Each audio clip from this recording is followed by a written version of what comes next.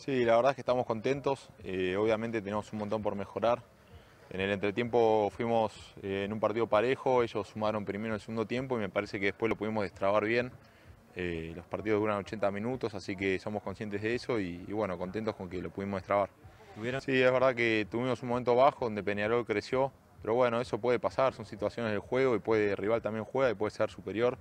Lo importante es que no nos marquen, no nos marquen lo menos posible para saber que, que vamos a volver a estar presentes en el partido, va a volver a ser nuestro momento y, y ahí redoblar.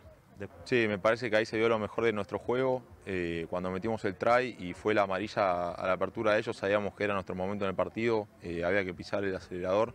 El equipo lo entendió, fuimos a fondo y me parece que ahí hicimos la diferencia. Y un poco sí, pero bueno, es una semana larga, tenemos tiempo para descansar, para ir día a día y preparar el partido lo mejor posible para llegar al sábado que viene listos para, para salir a ganar.